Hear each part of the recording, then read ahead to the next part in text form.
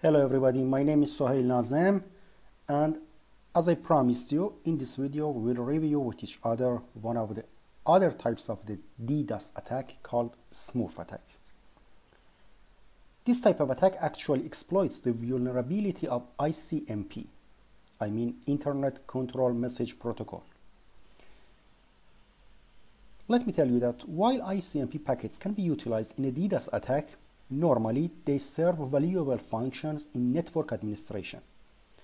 The ping application, which utilizes ICMP packet, is used by network administrators to test networked hardware devices such as computers, printers, or routers. A ping is commonly used to see if a device is operational and to track the amount of time it takes for the message to go round trip from the source device to the target and back to the source. Unfortunately, because the ICMP protocol does not include a handshake, hardware devices receiving requests are unable to verify if the request is legitimate.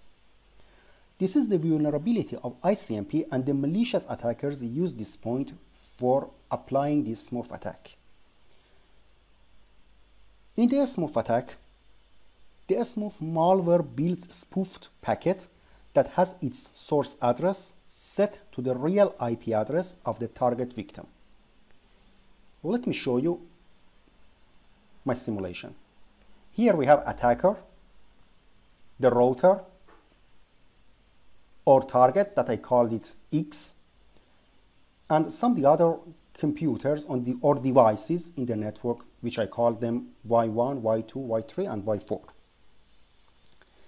First, the attacker with a spoofed source. He, call, he pretend himself as a source X. He sends the message to the destination y, Y1. The Y1 responds to the router, but he thinks that he receives this message from source X. So, the target X, the response will go to the target X. For the second messages, and it will do such a kind of this attack. Okay, you can see that a lot of responses will go to the target X. The target victim then receives a lot of ICMP echo reply packets, potentially becoming overwhelmed and resulting in denial of service to legitimate traffic. Okay, it was the short description of the Smurf attack. Let me tell you the mitigation mechanism, how we can protect from such a kind of this attack. The Smurf attack poses real risks if servers are overwhelmed. Disabled IP broadcasting and reliable detection tools help limit the chance and impact of this attack.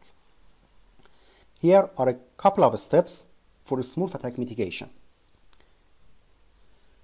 Make sure to block directed broadcast traffic coming into the network the second solution, configure hosts and routers not to respond to ICMP echo request.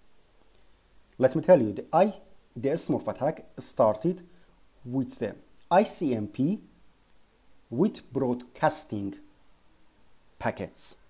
That's why that for the mitigation mechanism, it is better to block your routers to receive the broadcast traffics.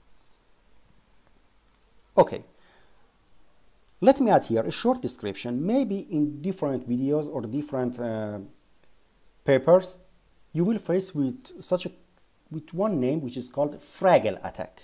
Fraggle attack from the strategical point of view is the same as the Smurf attack.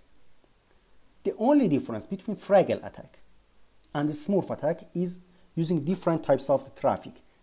A Smurf attack, as I told you, as I presented in this slide in this video is using the ICMP traffics. But Fraggle uses the UDP packets. The only difference is this one. From the strategical point of view, as I told you, both of them are the same. Okay, here I finish this title. Keep in touch with us in the Vision Academy channel and drop me any question in the comments. Thank you very much. See you soon.